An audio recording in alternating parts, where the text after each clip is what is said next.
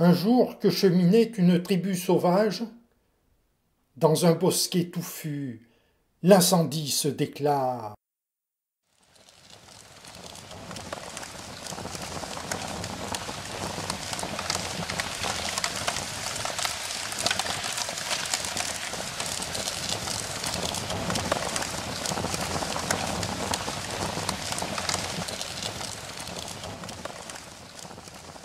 N'osant le regarder, tous par le même élan fuient ces tragiques lieux où le démon sévit. Tous curieux, apeurés, tentent d'épier la bête, dont les gueules flambant dans les crépitements broient les coriaces troncs, sucent les rameaux tendres.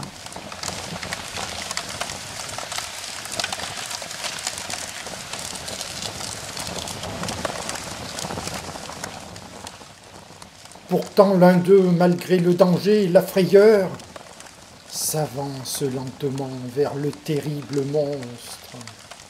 N'est-il hypnotisé par un magique appel, magnétique influence aveuglant son esprit?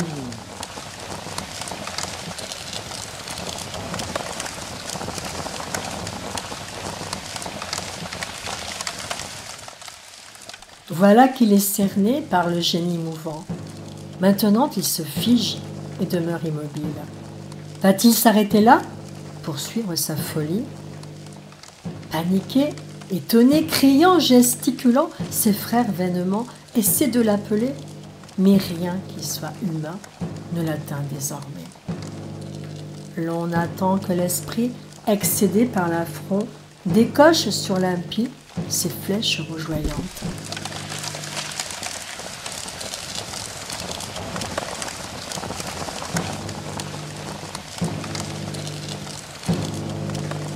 C'est alors que l'on vit son bras confiance tendre, puis horreur s'emparer d'une bûche embrasée.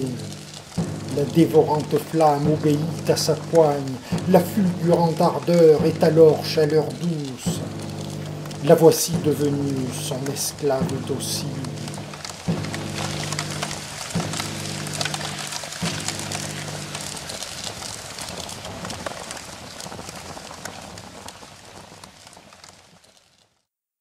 Brandissant le trophée qu'au monstre il a ravi, comme un géant murs, impassible, insensible. Dans la horde surprise, il revient aussitôt.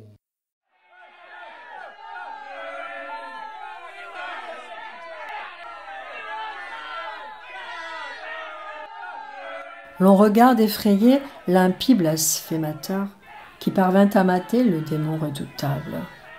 Tous fuient devant ses pas, tous le huent, le conspuent, les uns terrorisés, d'autres haineux, envieux.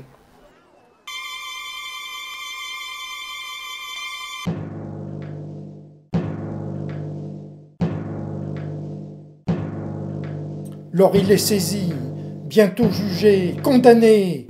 Le voici ligoté sur un mont désertique, cependant qu'un vautour se repaît de son foie.